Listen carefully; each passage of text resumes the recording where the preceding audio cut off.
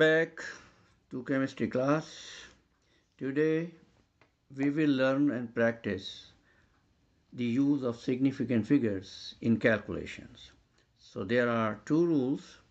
One is when we add or subtract, other one when we multiply and divide. So first one, significant figures in addition and subtraction. When adding or subtracting, the answer should have the same number of decimal places as the limiting term. Limiting term is the number with the least decimal place.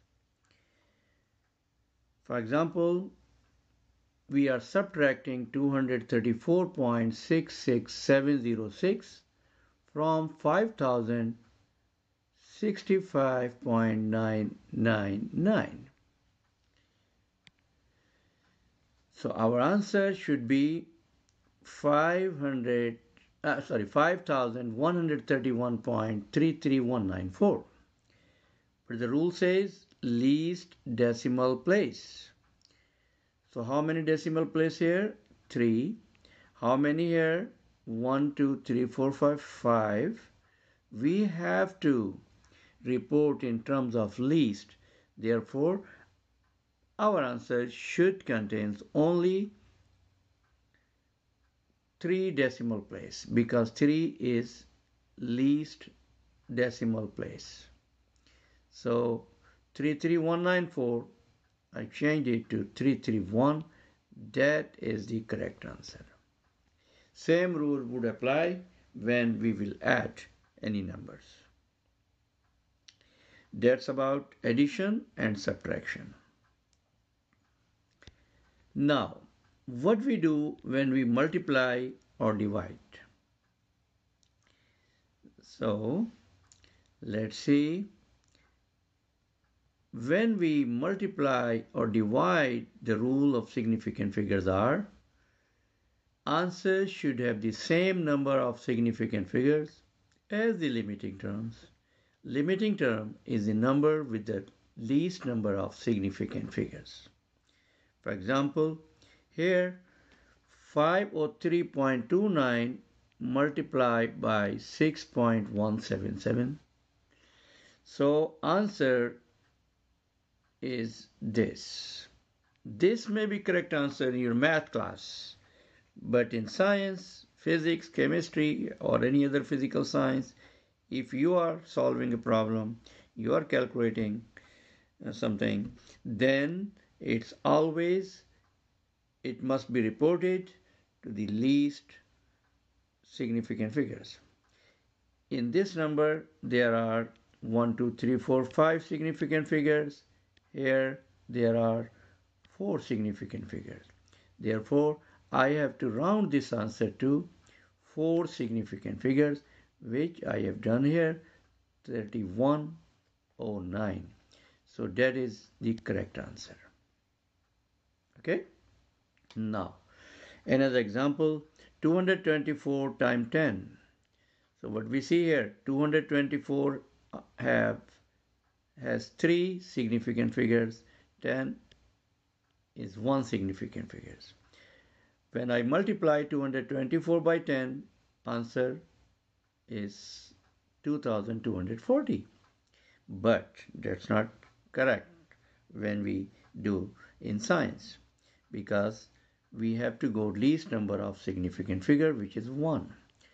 20 to 40 we have to round it off to one significant figures. 20 to 40 it would be rounded off to 2000. So that is the correct answer.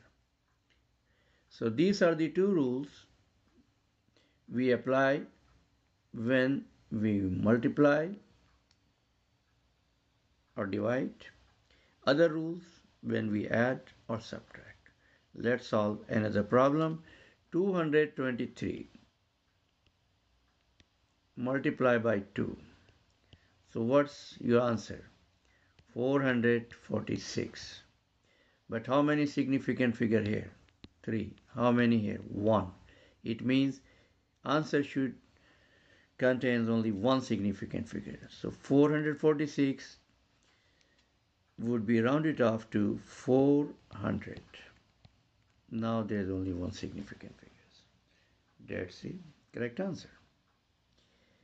So same thing happens when we divide. For example, 550, 555 divided by 15. So what's should be the answer? 555 divided by 15 answer should be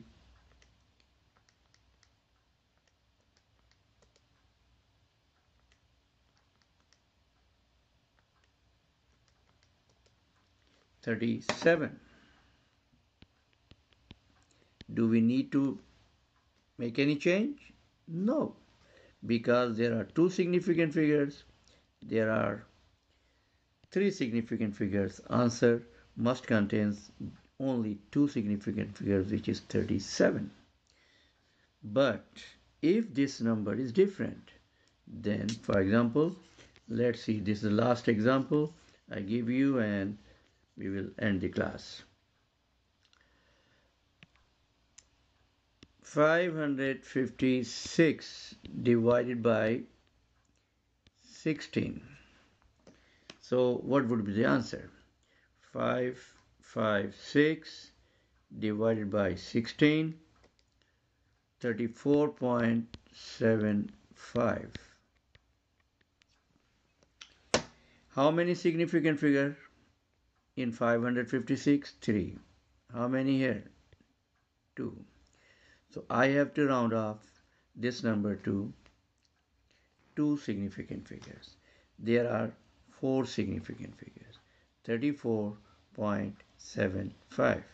so what I'm gonna do 35 and that is correct if you got any question you may ask in the comment section and I will get back to you and next class we will be studying uh, scientific method have a wonderful day. Thank you for your time.